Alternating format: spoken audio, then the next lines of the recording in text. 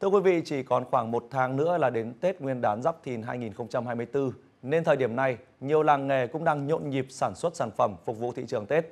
Làng nghề truyền thống bánh tráng An Ngãi ở huyện Long Điền, tỉnh Bà Rịa, Vũng Tàu, thời điểm này cũng đang tất bật cho vụ Tết.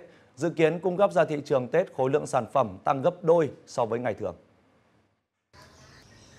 Trung bình mỗi ngày, bà Dương Thị Ốm ở xã An Ngãi, huyện Long Điền sản xuất khoảng 15 kg gạo, tương đương với 1.700 cái bánh. Nhưng sát Tết, đơn hàng nhiều, bà sản xuất đến gần 3.000 cái một ngày. Tết này thì ví dụ chắc cũng làm quy định chừng hăm mấy cây đổ lại thôi chứ không chắc nhiều. À, nếu mà khỏe thì là 5 giờ dậy, ừ, 5 giờ chiều xuống lò. Còn hỏi mệt thì tới ừ, 6 giờ sáng cũng có nữa. Hơn một tuần qua, lò bánh tráng của gia đình bà Đặng Thị Son đỏ lửa từ 3 giờ sáng đến 5 giờ chiều để đảm bảo sản xuất 2.200 bánh mỗi ngày, tăng hơn 500 bánh so với ngày thường. Cái ngày bình thường tôi làm á, thì à, ngày 4 giờ là tôi thức, làm tới trưa 11 giờ là tôi nghỉ, là ngày bình thường làm để kiếm tiền đi chợ thôi. Còn như Tết á, người ta đặt hàng để chuẩn bị Tết với lại giờ làm để cho nhiều bánh để giao cho khách ta đặt ăn á, thì tôi thức dậy lúc 3 giờ. Tôi nghĩ thì lúc 4 5 giờ.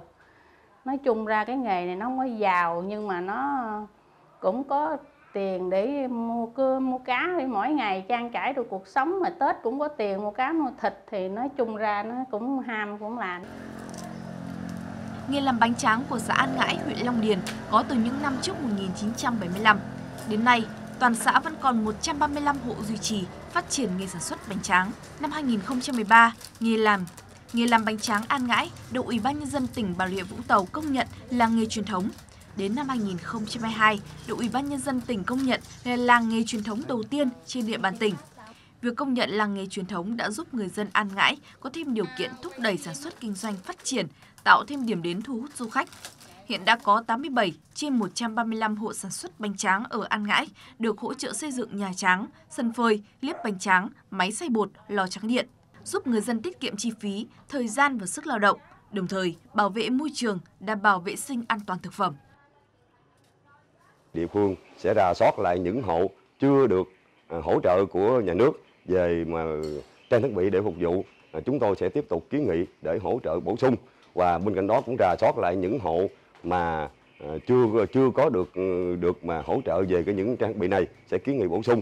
Bên cạnh đó thì à, địa phương ngãi cũng có Ờ, điểm cái tham quan mà du lịch làng nghề mà trải nghiệm truyền thống bánh tráng thì địa phương cũng có có kiến nghị đối với phòng văn hóa thông tin đó là tiếp tục là giới thiệu quảng bá về cái hình ảnh sản phẩm bánh tráng để cho à, khách du lịch rồi các tour lữ hành biết và đến tham quan trải nghiệm.